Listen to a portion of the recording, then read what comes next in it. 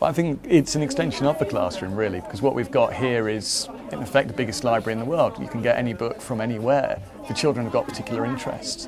But also so that the children can realise that the library has is got so much more in it than the internet has. You've got such a wealth of information, you've got most beautiful illustrations, you've got things that kids can curl up and read. They can tuck themselves up in little areas like that and share books in a way that you can't on a computer screen.